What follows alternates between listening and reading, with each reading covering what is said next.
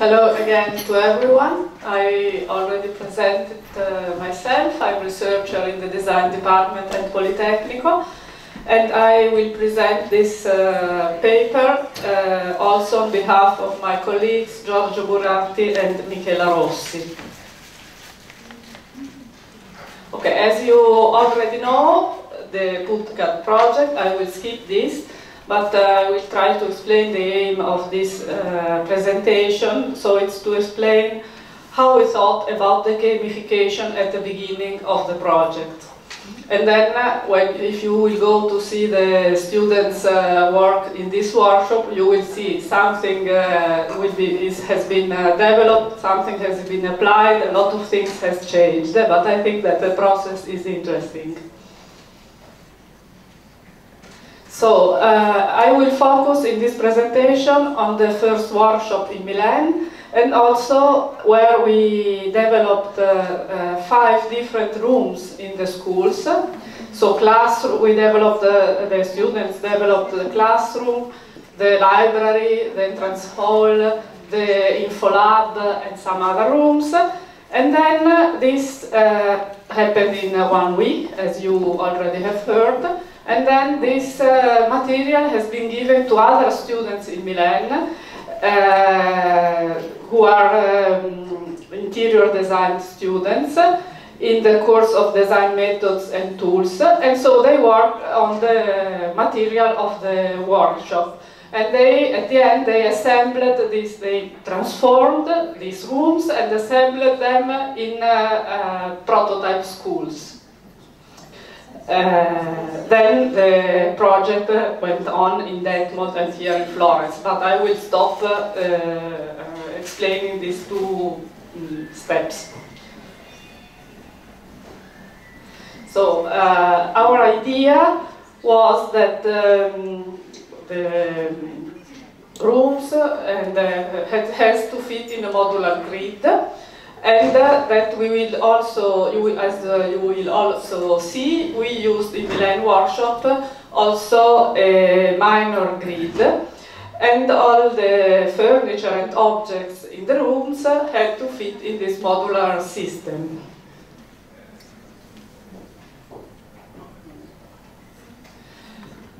As our colleagues also in other experience already explained, uh, showed, we did some, oh, I went too fast.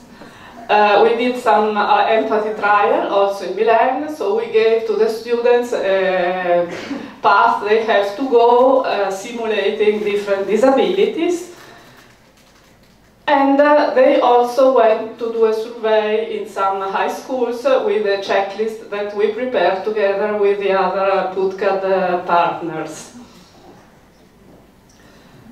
Uh, about the game, uh, our interpretation at the beginning was to think about a table game because it was easier also for the first workshop and to we were, we, are, we were thinking that it, the game could go in two directions. Either uh, the building uh, of the school for all will be the result of the game, or the players will act into the schools, or, uh, which could be given from the beginning. In both these cases, we thought that the modular play elements could be useful for, uh, for both development. And so we try to make uh, the students aware that uh, uh the, the um, playground could, uh, of the game could uh, have different functions. For example, similar rules can be applied to different boards, as in this case, these are both path games, but with a different playground. Or the same playground can be used with different rules. For example, if you play uh, chess or uh, um, uh, dama, I don't know, it doesn't come in the name in this moment. Uh, in any case, our idea was that uh, the grid would be uh, an analogy to the board game, and the tiles uh, would be an analogy to the rooms. And then we also thought that uh, uh, we could have game cards that uh, could be the rooms. So at the end, during the workshop in Milan, we didn't develop a play, but we tried to work on some elements that could be useful, could be used in a game. This was the grid we gave to the students, and this is an example on how you can organize rooms in this grid, but obviously you can organize them also in very different ways.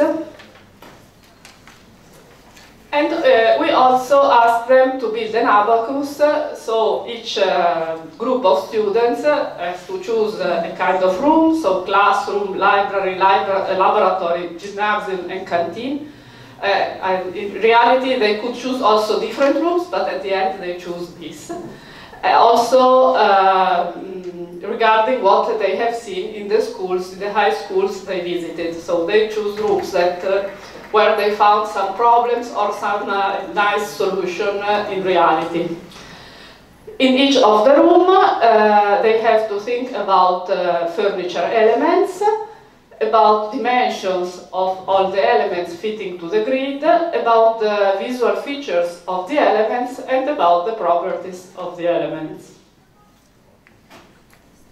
And so these are the results of the workshop, the entrance hall, and here I think the important thing is the, that they uh, were inspired by the real entrance hall they visited, but that was very messy, and the, and the orientation in this real uh, space they visited was very difficult.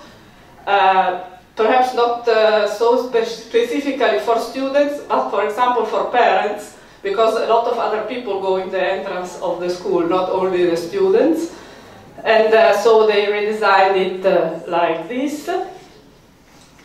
Then they worked on the classroom, and what they noticed was that uh, the classroom of uh, traditional schools they visited in Italy were very uh, strictly organized, and so they tried to make a more flexible organization also for teamwork, uh, taking in, a, in any case account of accessibility of all the parts of the classroom.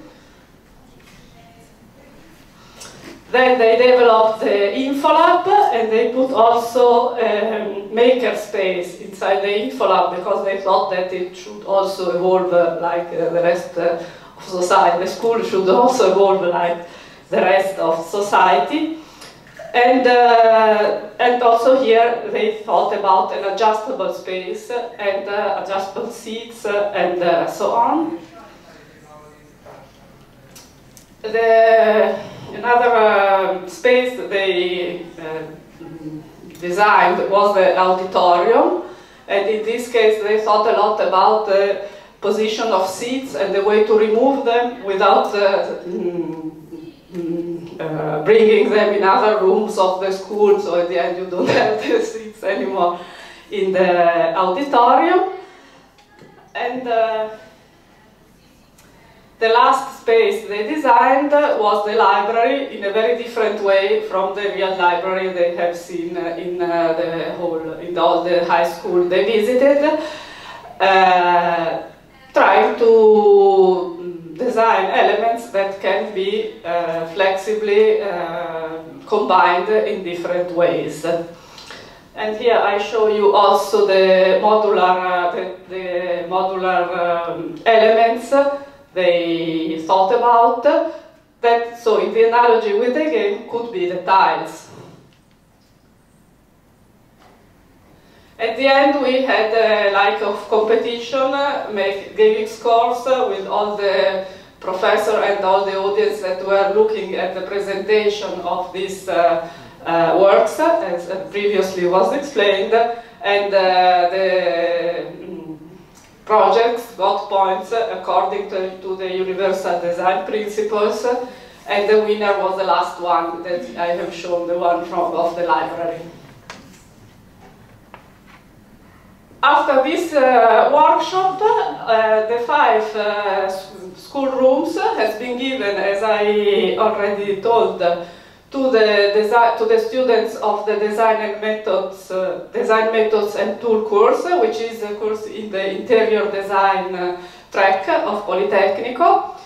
And they uh, remodeled these uh, five rooms a little bit because uh, in the quick work of the workshop, not everyone really fits perfectly to the grid. And they thought also about the 3D dimension because in the workshop the students worked on uh, the, um, only on plans. And um, so the students were organized in groups uh, of five in this course, and uh, each uh, student and each student in the group had one room. So each group had all the five rooms. And then uh, they combined these uh, rooms in uh, schools, in prototype schools. So at the end we had 40 schools, different schools, combining all the rooms. Uh, so I can go quickly here, it's only the redesign of what you already have seen in 3D and a little bit developed. Uh, so, uh, as I said, uh, each group of students uh, redesigned all the rooms and then each student uh, used the five rooms of his group to build a school. So, and here you can see as an example one of the of the schools, they also had to think about, uh, to give a title, and to think about what there is specific in this school, besides the use of the grids and of the rooms, that can, because with these uh, uh, elements, the grid and the rooms, you can build very different things. For example, this was the, school of uh, inspired to uh, Alice in Wonderland. I show only, not all 40 obviously, don't worry. I showed you only three or four, but only to show some differences. For example, this is a school organized around the court, uh, where you can find uh, uh, the previous rooms and obviously also other rooms, the toilet and so on, because at the end they had to think about all the uh, what the students have to do inside and the teacher have to do inside the school. Uh, for example, other students developed a more open courtyard, and here an interesting thing is that there is um, there is a labyrinth in the courtyard, which is uh, like an external library. You can uh, take the books in the library and then go outside and read them in, also in fresh air. And uh, because all these the idea of this uh, student was uh, to put the library as an important part of the school, which uh, to find a way to make it important to students. We had other examples, for example, in this case, the different uh, are independent one from the other and they are connected through pathways so it's a very different way to put uh, the previous rooms in, inside the grid. And uh, so closing uh, I, I would say a lot of things but I would like to point out that uh, uh, we, we think that this experience was interesting because uh, it led the students to be conscious of the user and of technologies. And uh, uh we think also that uh, using gamification inside the course makes uh, experimental, so it can support very well experimental learning. And then our work in Milan finished uh, uh, there, so that I'm presenting finished there, and the following uh, um, steps would be to think about the character, and this happened, uh, begin, began happening in Detmold and went on here, to think about the game criteria and the structure of the game. So if you have questions, I hope I used the right time. Okay, so I give the word to the next speaker.